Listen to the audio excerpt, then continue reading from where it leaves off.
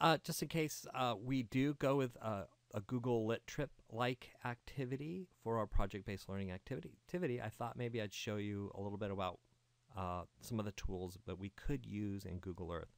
Um, obviously, I'm a big fan of Google Earth. I'm up for any kind of project, though, that is engaging and uh, successfully integrates all the subjects like we want it to.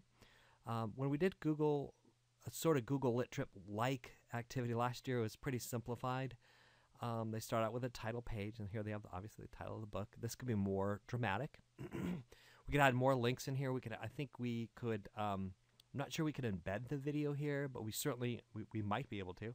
Just haven't tried. We can link out to a Google site page with a embedded link with an introduction that they make, and maybe some probing questions like. Uh, how does geography affect your life? Or Mark had another one too that thought was really good. Can't remember it right offhand.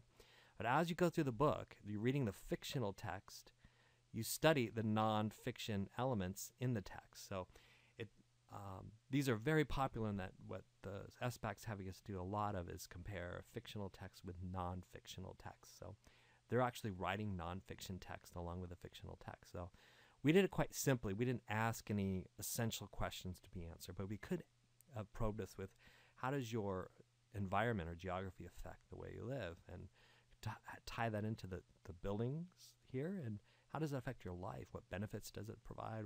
What was the motivation? What how do they want this to change your life by having this built? Um, getting the science of how this was built and the writing there that they did. Here you can see the, the bookmark that they play. Here's the place mark. They use the co cover of the book. And once here, you get actually get a view of what's happening in the story. You can compare the uh, Wool, Woolworth building. This is the One World Trade Center. I think it's the second largest building in the world right now in the background. Um, and then they move on to the Flatiron building. That was the next thing. I clicked the wrong thing. So um, we talk about comparing it. So we'll skip the Flatiron and uh, compare it to the smokestacks here. And when you click here, they um, they do a little. In my class, they just wrote about the smokestacks and mentioned it. We could actually demonstrate the the difference in um, information here and how how uh, this uh, geography affects our environment, and a lot of controversy about the smokestacks right now. Um, and then we get brought to, uh, they head on to Kathmandu, and then we got links to to religion, and all along answering the question, how does your geography affect the way you live? Well, if you live in a society where it's taken over by a country that doesn't allow freedom of religion, uh, it does quite a bit. Um, where you live can make a huge difference, whether you're in China or um, or Nepal. Uh, okay, here's the North Base camp. Um, we could get into you know the altitude. Um, they climb up. We could have a link to talking about getting uh, the altitude sickness and the science about that. Um, teaching kids as they read the story um, the effect that your altitude has on your living. Geography affect how you live.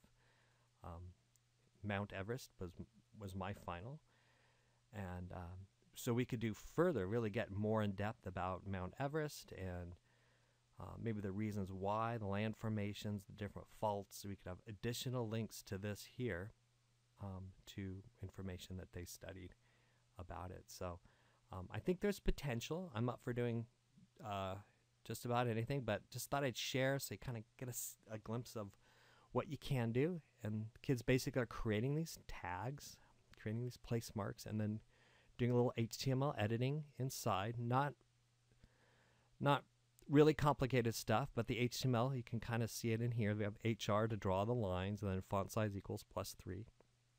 They could change the color, add links, add images, link out to a Google site page, and whatnot. Change the altitude, the view of how we're looking at it. Um, but I think just I think there's a lot of science in here. I think there's a lot of probing questions that could be offered, and then I think our overall goal would be to supply to our clients um, curriculum material that links nonfiction information with fictional text. Which is this site is sponsored by Google. Um, this was started by Jerome Burg, and Jerome Burg is now an employee of Google and promotes this um, with as a Google sponsored activity. And we would be possibly having selecting some to actually submit to Google for consideration to be included on this site. And currently, Peak is not included here. Uh, we could also use these as samples. Maybe take a, a easy reading book, uh, one that we could get through pretty quickly, and then view the the Google Lit Trip for that book. On it, they have Bud Not Buddy here and a Great Horn Spoon. We probably don't have time to get through that. Um, but obviously, they have as they, as you go down, um, they have children's books and Google Lit trips that go along with those books. So um, I think it would be fun to actually try to submit one. Um, I don't know 100% sure, but if you submit, I hear they always give you an answer and they'll give you a, a score and, and, give you an explanation of why or why not your your your prod your Google Lit trip would be submitted or not. So that might be kind of fun for our kids. I think you know Google's been doing this and, and sponsoring it, and they're kind of a big deal in education right now. And um, it'd be kind of fun to to connect with them and have Google as our client. So um, just some things to think about. Um, that's all.